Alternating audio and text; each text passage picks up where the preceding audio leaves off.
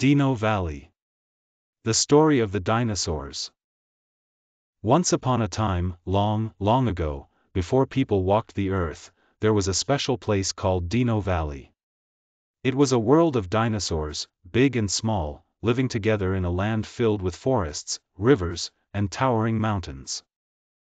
In Dino Valley, there were dinosaurs like Tyrannosaurus rex, who was huge and had sharp teeth, but also ones like Brachiosaurus, who were tall and gentle, munching on leaves high up in the trees.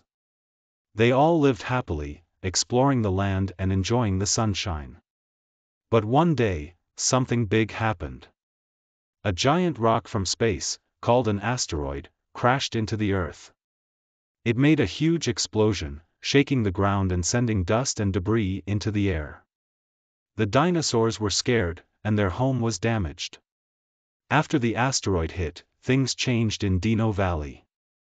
The once green forests turned gray, and many plants and animals disappeared.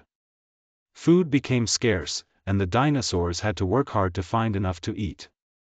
Some dinosaurs, like Tyrannosaurus rex, had to search for food in new places, while others, like Brachiosaurus, tried to help their friends. But even with their efforts, life was tough for the dinosaurs. They struggled to survive in the changed world, and slowly, over a long time, they began to disappear.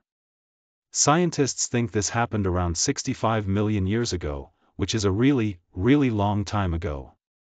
Eventually, the dinosaurs were all gone. But even though they aren't around anymore, we can still learn about them from the fossils they left behind. And who knows? Maybe one day, we'll discover even more about these amazing creatures and the world they lived in.